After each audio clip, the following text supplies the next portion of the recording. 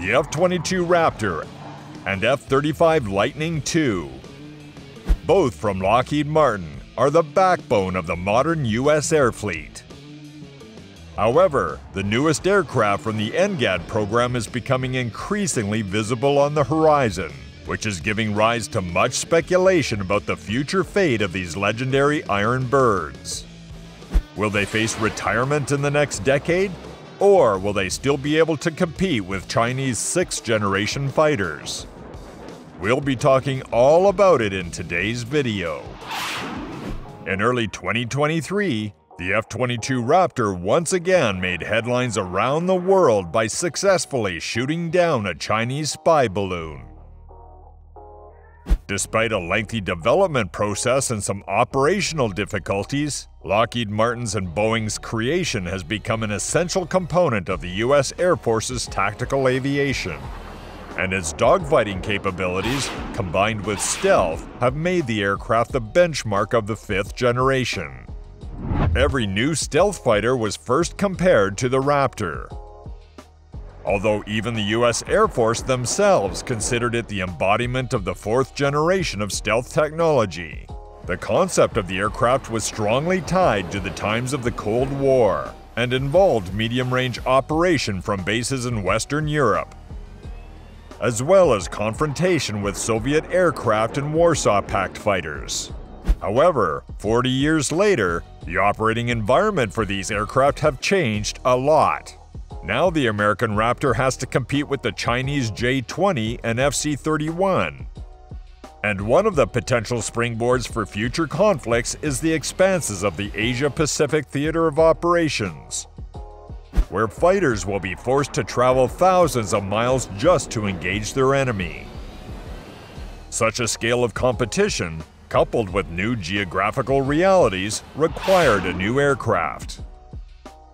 The beginning of the 2000s was marked for the United States by the global war on terrorism and military campaigns in which there was no place for high performance stealth fighters. This, among other things, was the reason for the reduction in F 22 production from an extremely optimistic 750 units to a more mundane 187 units. The initial cost of the fighter was estimated at $59 million, but as a result, numerous introductions of new technologies in the Raptor led to significant expense overruns and costs, and the price of the finished aircraft broke through the then insane mark of $360 million. At the same time, the overall high cost of the program also grew noticeably, from $44.3 billion for 750 aircraft to $67.3 billion for 187 F 22s. Additionally, the ban on the sale of the Raptor to foreign buyers put an end to hopes that the extremely expensive development of the devices could be offset by foreign sales. The F 22's companion was supposed to be a lighter and cheaper fighter, just as the F 15 Eagle from McDonnell Douglas was complemented by the no less sensational F 16 Fighting Falcon from General Dynamics. Thus, the F 35 Lightning II was born, a single engine stealth fighter that filled in the gaps left by the development of the F 22. Structurally, the F 35 relied on the experience of the F 22 Composites made up about 35% of the weight of the airframe, and the device itself came out much heavier than lighter predecessor fighters with an empty weight of 29,300 pounds within the lightest modification. Although the main reason for this was the internal weapons bays and extensive avionics. Despite not having the raw performance of the larger twin-engined F-22, the F-35 has kinematics that rival fourth-generation fighters like the F-16 and FA-18, and double the fuel capacity of the F-16, due to which the combat radius of the aircraft significantly increased. Unfortunately, as with the Raptor, Lightning II failed to completely avoid budget overruns, pushing the program's cost from a potential $200 billion in 2002 to $412 billion by 2022. However, the F 35 ended up in much more favorable conditions than the F 22. Its development program was international, due to which many foreign orders were included in it. As problems with the aircraft began to be resolved and the cost of its production was significantly reduced, more orders began to arrive, which made the Lightning II not only the most technologically advanced, but also the most massive fifth generation fighter. In 2023, Lockheed Martin began assembling the 1000th stealth aircraft airframe, while the number of combat ready F 22s is becoming smaller and smaller. Part of the fleet is being cannibalized to support the remaining vehicles. The F 22 and F 35 were originally intended to work as a pair, but the duo fell victim to circumstance. The F 22 appeared when there was no critical need for it, and when circumstances changed, its success was already eclipsed by the F 35. Since the creation of new F 22s is, to put it mildly, unlikely, part of the production capacity was repurposed for the F 35. On the other hand, the existing Raptor fleet will undergo additional modernization and improvement, including new sensors and antennas, AIRST, or Advanced Infrared Search and Track, as well as a chrome-like surface coating that improves the stealth performance of the device. As for the future career of the F-22, by 2030 the US Air Force intends to operate a large fleet of F-35s along with NGAD fighters. But there is apparently no place for the F-22 in it. Well, even legends have to give up their place sooner or later. The Raptor will be replaced by a family of systems capable of providing US tactical air supremacy for the coming decades. In the form of the latest 6th generation NGAD fighter, better known as the FX or Penetrating Counter Air, or PCA.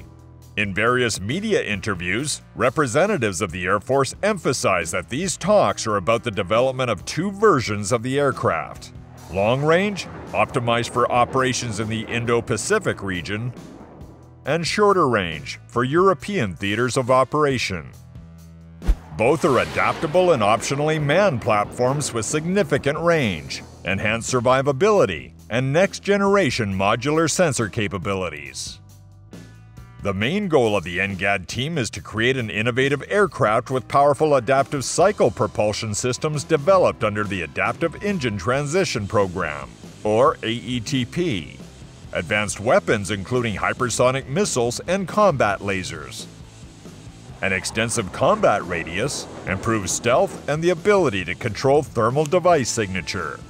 This will be complemented by the use of Collaborative Combat Aircraft, or CCA, or Loyal Wingman, the latest drones and swarming drones that expand the functionality of a fighter dozens of times.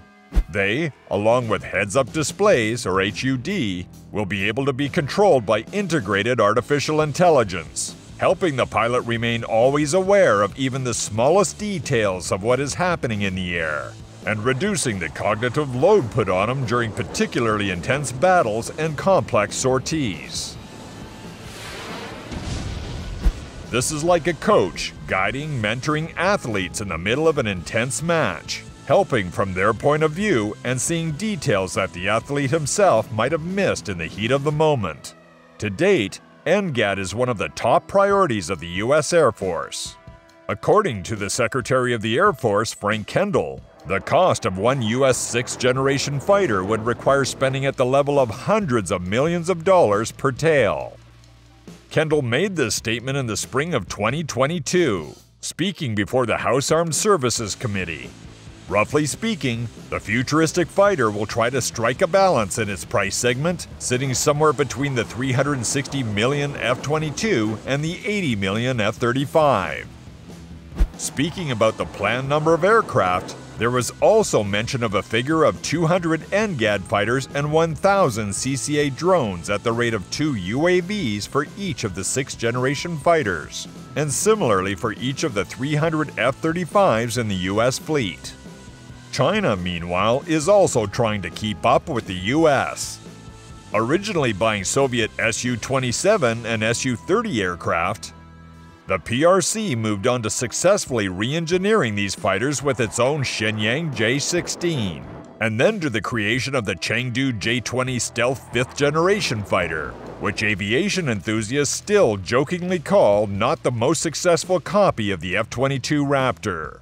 One way or another, work on the Chinese 6th generation fighter is in full swing, and the head of the Air Combat Command, General Mark D. Kelly, is convinced that China's plans for next generation aviation are in many ways similar to those of the United States. Among them, most of the attention is being paid to the following exponential acceleration of computing power and target detection, advanced stealth technology, artificial intelligence, regular software improvements, as well as the formation of an air platform into a single digital network node, like the F 35 Lightning II.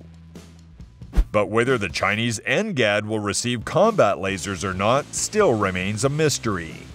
A potential mock up of the new Chinese fighter jet surfaced on satellite imagery on Twitter in the fall of 2021 when a camera captured a diamond shaped tailless prototype at the Chengdu Aircraft Corporation test airfield, located next to the company's factory. Just a year later, during the aerospace show in Zhuhai, China presented the concept of a new fighter.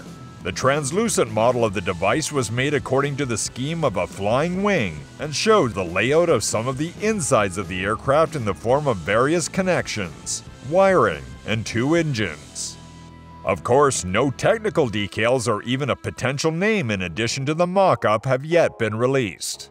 In the winter of 2023, China once again reminded us all of the fighter. It was spotted in a video posted by the Aviation Industry Corporation of China, showing three twin-engine aircraft resembling the J-20 stealth fighter, but in the tailless shape of the model shown in 2022.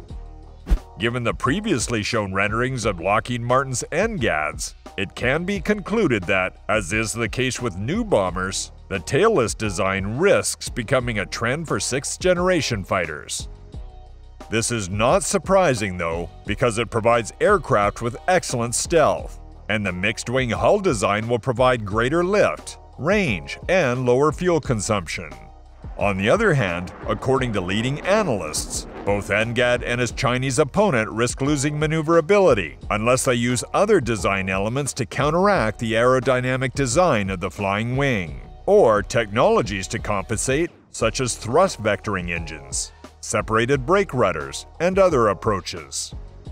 An equally important aspect is the engine, which will become the heart of future 6th generation fighters.